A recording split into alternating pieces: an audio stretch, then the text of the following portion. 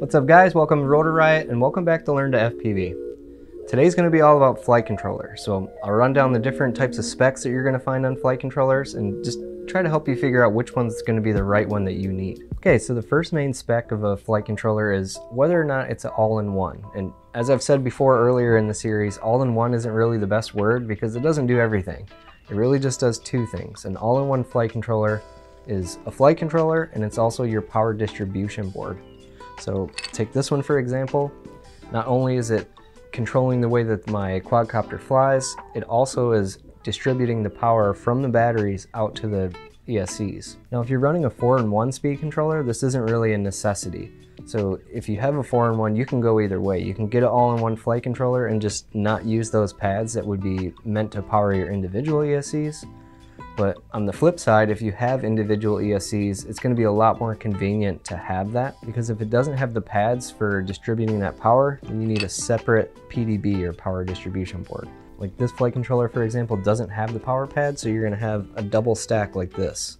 Your power leads will go to the PDB, and then your signal wires will go to the flight controller. Other flight controllers that are going to be called all-in-one may have some additional features. Like this one, for example, it's a flight controller, but it's also a 4-in-1 ESC. So we're getting a little more into all-in-one, but it still doesn't do everything. There's other ones that will be a flight controller and a receiver, and then there's some other ones that will be a flight controller and your video transmitter. But again, all-in-one isn't the best word because there's not a flight controller that does everything. Um, now, when you get into mixing different components, like 4-in-1 ESC and a flight controller or a video transmitter and a flight controller. It can be convenient, it can save size and weight, but also you're trusting one component to handle multiple responsibilities.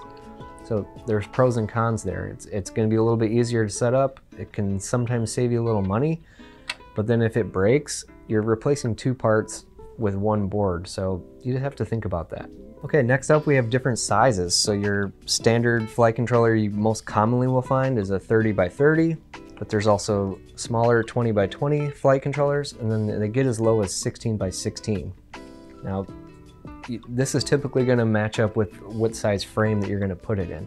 Smaller frames are not gonna be able to fit bigger flight controllers. Sometimes a bigger frame can still fit the smaller flight controller. And through the different sizes, they can all pretty much do all the features that you need them to do. The main thing to take a look at is if it is an all-in-one, meaning that it's a power distribution board and flight controller, you need to make sure that it can handle the current that your setup is going to draw. So a lot of times with the smaller flight controller, they, they can't handle as many amps going through them just because the circuit board itself just doesn't have enough copper in it to handle those amps. The next spec, and I'm not gonna go into too much detail here because A, I'm not an expert on this, and B, it's, it's a little over the heads of the beginner, but there's different gyros that different flight controllers will have. I'm pretty sure they, they pretty much will all work. I don't think there's a gyro that's like, oh, no, just totally stay away from that. It's not gonna work, it's garbage. But it's just something to maybe keep in mind and do your own research on if you're interested in that. But not all flight controllers are going to have the exact same gyro in there. So some have been known to perform a little better in some situations, some are a little better over here. There's pros and cons, but again, I just pretty much try a flight controller. If it flies good, I'll keep buying that flight controller. I don't really think about which gyro's in it so much, but it's just something to be aware of. Another feature that most flight controllers are going to have, but some don't, so it's a good thing to be aware of, is whether or not they have an on-screen display chip. You can usually see it. It's this longer rectangle chip on the board. And this is really handy to have. I highly recommend getting a flight controller that can do on-screen display. If you don't know what on-screen display is, it's, it's text that can be overlaid on your screen and give you information. So it can tell you your timer, how long you've been flying. More importantly, it can tell you the voltage of your battery. So it gives you an indication of when you need to land but there's a long list of things that it can display to you. I really only use a timer, voltage, and milliamps consumed. So that's telling me how much I've pulled out of my battery, what the voltage is, and how long I've been flying. So between those three things, I have a good idea of the health of the battery, whether or not it's about time to retire it and not use it anymore. And, you know, obviously it tells me when to land so I'm not over discharging my batteries, causing them to deteriorate faster. I'll be honest, sometimes I'm guilty. I know my battery's low, but I, I just keep flying anyways. Don't recommend that, but you know, sometimes we just get reckless. The prices of flight controllers that do and don't have on-screen display is they're all pretty much about the same price for flight controllers. So if you find that one doesn't have it and one does, again, I highly recommend go with the one that has on-screen display. It's gonna be really useful. Okay, another thing that some flight controllers will have and some won't is soft mounting. And there's a couple different versions of soft mounting. So almost, I think pretty much every flight controller is mounted to a drone the same way. There's holes on the corners. These are gonna slide over some standoffs or some screws, and that's how it's held down. What some flight controllers do, like this one, they make those holes a little bit larger than they need to be, and then they put a rubber bushing in there. That way, the vibrations from the motors and the propellers are not getting sent into this as much. There's some dampening in between the motor and the gyro. This can be really important because even though you can't see it, this thing is going to have these little tiny micro vibrations that can really send extra noise into that gyro and just affect the performance of it. So having that soft mounting is really helpful. Another form of soft mounting is some flight controllers will actually have the gyro itself soft mounted. So it won't be hard soldered directly onto the board. It'll be on like a little ribbon cable and then on some sort of little soft pad. And this combined with also soft mounting the actual mounting of it, it just gives you even more smooth gyro performance. One thing to take into account is if you have a really tight, low profile frame, sometimes that soft mounted gyro won't fit. It's gonna fit in almost every frame, but just for me in particular, I fly really slam down frames and they don't fit in mine, so I can't use that. But almost every other frame in the world, they will fit, it's not a problem. A big thing to take a look at is the input voltage capability of your flight controller. Especially on a all-in-one flight controller, your battery is going to be plugged directly to this, so you need to know that it can handle the voltage that your battery is pushing out. So it's going to say it's either good for like 2 to 3S, 4 to 6S. So Again, just make sure the voltage of the flight controller is going to match the battery you intend to use. Or if you already have the flight controller, make sure you know the voltage capability of it and you get a battery that's going to work with it and not blow it up. Sort of in the same line and related to that is the different regulators that's on the board. So just about every flight controller will have regulators to take that input voltage that you start with and drop it down for other components. Because almost everything on the drone is going to connect to the flight controller. So you need to make sure it's got an output that's the right voltage that's going to work for your camera, for your video transmitter, for your receiver. They're pretty much all going to have the correct ones, but some will do it a little bit differently. So some will have a 12 volt regulator, which is really good. It's going to work for most of your video transmitters, but then some will have a 9 volt regulator and not have the 12 volt which in some cases could be better because if you're running a 3S battery, you're really at about 12 volts anyway, so it can kind of struggle to regulate a 12 volt voltage because you may be going below 12 volts. The way that regulators are meant to work is you start with a higher voltage and then it can step it down and keep it smooth and constant. Especially for your video gear, you want good clean regulators because of the spiking in voltage and the fluctuations and changing can cause interference in your camera and your video transmitter and just give you overall less video performance. So there's not really a spec to look at on the product page that's gonna say, I mean, it probably will say that the flight controller has good regulators and really clean power going out to your video components, but some are better than others and it's just gonna take some experience and talking to people to figure out what they're having good success with. Another spec of the flight controllers is what kind of processor does it have? So you've got F1, F3, F4, and F7. I think that's pretty much all the different processors. Basically, the higher the number, the more powerful that processor is, so the more it can handle doing. Pretty much every flight controller you're gonna find now is either an F4 or F7.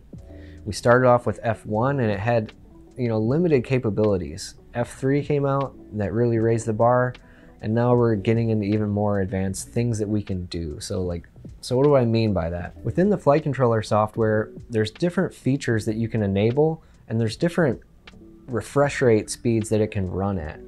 So what I mean by the refresh rate is, uh, like I mentioned in the ESC video, the way that the flight controller is working is in a cycle. So it's checking where you're at versus where you should be based on how you move the sticks, what correction needs to be made to bring that back in line.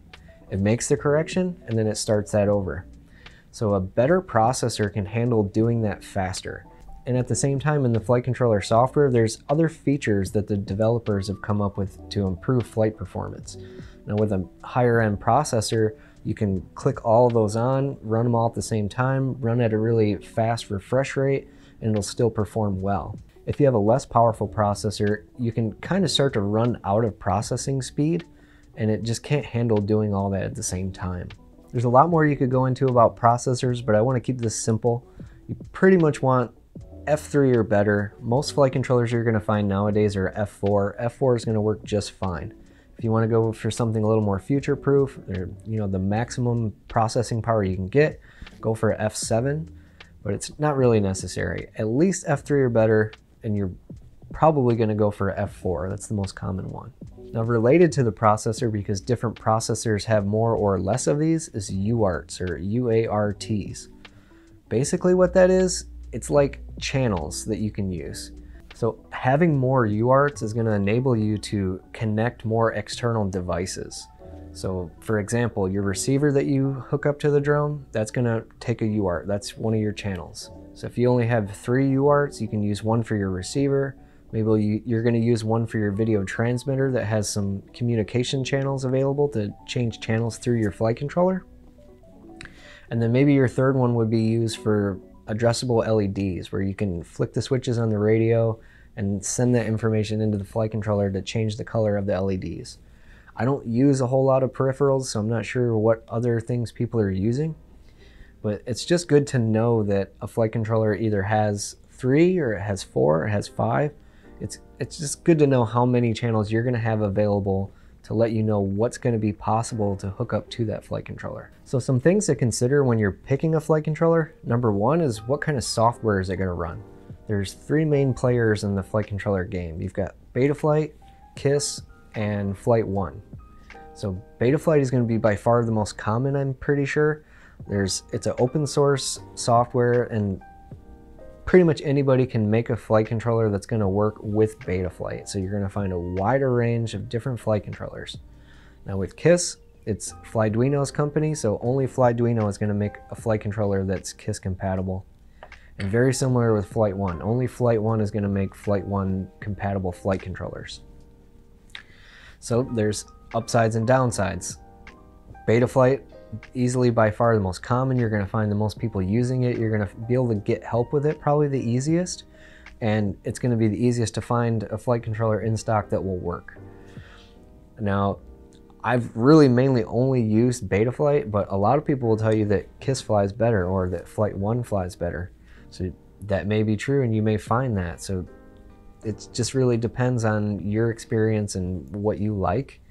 But there's some other advantages, like Flight 1, for example, is super easy to set up. Where Betaflight, you kind of need to know what you're doing or, you know, do some research, watch some videos, and there's different boxes you have to check. There's things that are not intuitive that you have to know to get that thing flying properly.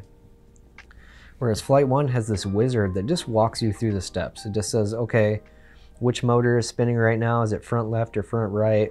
And it, by you doing those things, it knows the way you've got it set up.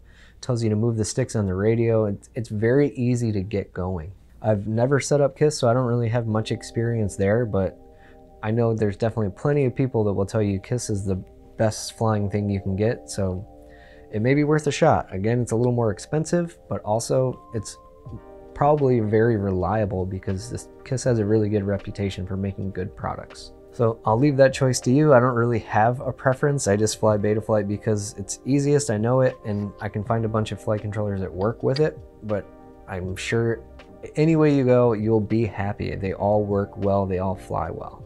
Okay, another really big one to think about, and for me this is probably the number one thing of how I pick what flight controller I'm gonna use, is the layout of the board. So where the different pads and pins are located on the flight controller. Some flight controllers, you're gonna find that some wires are gonna go underneath and some are gonna go on top. For me, that pretty much immediately takes it out. I want everything to be able to go to the top. That way I don't have to pull the flight controller off and flip it underneath to get things off. That's just a pain, I don't like that. Other ones like this one in particular, I, I like the layout of this board because the, the pads that you're gonna solder your ESC wires to are on the corners and on the outside of the mounting hole. Other ones like this one, they're on the inside. It's pretty much the same either way, but it's just a little bit easier to solder when it's on the outside. So you don't have to worry about that nut that's gonna be there kind of in the way and getting your wires around it. Other things are gonna be like, where does your camera and your video transmitter solder to? It's really convenient if the board fits in your frame so that the camera is gonna be in the front where you solder it to, the VTX is gonna be in the back, because that's typically how it's gonna be laid out. The camera is almost always in the front or always in the front. And a lot of times the place that you're gonna mount your video transmitter is in the back. So it's just a pickiness thing for me. It's like the neatness that I don't have wires crossing. This one goes here, this one goes here. They don't cross each other. It's just convenient. So as a really new beginner, you may not know what you're looking for in layout. This may come later after you've built a quad or two to know what you do and don't like but it's something to look at where the wire is going to be soldered to. If you know which kind of frame you're going with, is that going to work the right way? Another thing is on which side of the board is the USB mounted to. You want to make sure that's going to go out one of the sides so that you're able to access that to hook up to Betaflight. You don't you want to make sure that the way that you're going to align the flight controller doesn't put it in the front or the back where you'd have to take it apart just to plug a USB into it. Most flight controllers are going to work the right way that you want it and have it out the side, but it's just something to take a look at. Another thing to think about is some flight controllers will have some special features that make them stand out and be different that other ones don't have. There's not a ton of these, but there's a few. So for example, some flight controllers can support two cameras. This is a little niche. It's not something that everybody needs, but it's a thing. So there's something called a cheater quad where you put one camera in the front and one camera in the back. And th this enables you to either fly forwards or backwards and you can switch the cameras. So again, it's not something especially that a beginner is going to be playing with, but just something to keep in mind that there's other features. So another flight controller that has a cool unique feature that I've used is the SpeedyBee flight controller. So what it has is a wireless Bluetooth module in it, so you can hook up your phone to your flight controller to do your PID tuning and adjustments, and that's really cool. They do also have a standalone unit that will work with any flight controller, but it's just an example of flight controllers having cool features that make them stand out and be a little different. Another one, and this is again maybe not a beginner focused thing, is the black box capabilities. So what black box is, is it can record all the data going on while you're flying. So what is your gyro doing? What are the motors doing? And you can use this to help fine tune the quad. This is definitely, I wouldn't say something a beginner is going to do. I even struggle to understand what the information means and what I need to do with it, but it's just something to take into account. So different flight controllers are either going to have it, not have it, or they'll have more memory that's allocated for the black box. So in some flight controllers, you're only going to be able to do a couple flights and then the memory's full. Other ones, it'll have more memory available on board. And then other ones will have a SD card slot so you can increase that memory even more. Another one is camera control. Pretty much every FPV camera has different settings you can change, and we'll get into this more on the camera episode, but you can change the contrast, the brightness, saturation, different things like this and make it better for some scenarios and better for other ones. So maybe if you're flying at night, there's some changes you want to make to make it perform better at night. So some flight controllers will be able to connect some wires to that camera to allow you from the sticks through the flight controller to the camera to change those settings without having to hook up the little adapter board directly into the camera and changing it that way. So again, another feature to look for in flight controllers. Okay, and lastly is to think about the brand of flight controller that you're gonna use. So there's a ton of good flight controllers that will work well, but you wanna try to get a feel for a brand's reputation. Do they make really good flight controllers? Do they have some that are buggy and not so good? What's the reputation over time? What are a lot of people using? If you go to our store, Race Day Quads, Get FPV, pretty much anything we carry is going to be good. But maybe you might find some cheaper flight controllers out there that are not going to perform as well. So another thing you don't want is cloned flight controllers. A thing that you may find is companies sometimes will take a flight controller and re reverse engineer it and then just pass it through lower standard of quality control and make it cheaper. And I've seen a lot of these boards that are just have nothing but problems. They fail easily. They may never work right out of the box. So it's just a good idea. Go with a well-respected brand of flight controller. Okay, so that's gonna do it. I hope this gives you a basic overview of what you're looking at in flight controllers. There's a ton of them out there and pretty much all of them are gonna get the job done. There's just certain aspects that you wanna look at. Is it gonna fit in your frame? Is it gonna have the layout that you need for the other components? What kind of software does it run? These are the main things that you wanna take a look at. So thanks for watching and this has been Learn to FPV.